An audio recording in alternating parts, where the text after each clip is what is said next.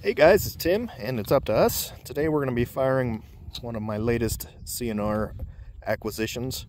This is the CZ82 chambered in 9 by 18 Makarov and it comes with a 12 round double stack magazine, ambidextrous controls, but no decocking lever. So this is probably, uh, well not probably, this is the most modern C&R purchase I have. This gun was made in 1990. Uh, but because it was made in Czechoslovakia and it's now a different country, it made it onto the C&R list. I guess it's called the Czech Republic or the Republic of Czechoslovakia now. Well, anyway, what it allowed me to get this nice little compact military pistol delivered right to my door. As always, I'm not sponsored by anybody. I'm not subsidized. I'm not monetized. Uh, so if you like, share, and subscribe, that will help the channel out a lot. Um, if you feel so inclined, I'll leave a link in below, and you can uh, perhaps buy me a cup of coffee one of these days. It helps feed my caffeine fix and uh, let me get out here on these nice, warm, hot, blistering Arizona days like today. Anyway, I'm going to load up and stand by. I've never shot a 9 by 18 before, so this should be interesting.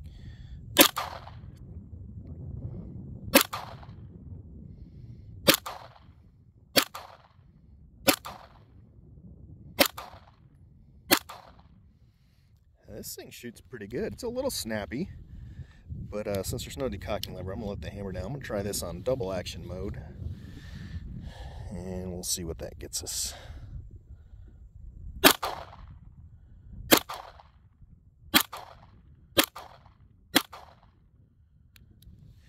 Well, all right. I'd say between this and the Smith & Wesson and the, uh, the P38 Luger I just brought out to shoot, this is by far the most accurate one. Um, not a bad little piece for $350 delivered to the door. I think I will uh, hold on to this one and keep it in the collection. Tell me what you guys think. Thanks for watching. So I forgot to mention, this is the only C&R gun out of my last uh, year's purchases that didn't require any work. It was straight out of the box and it fired.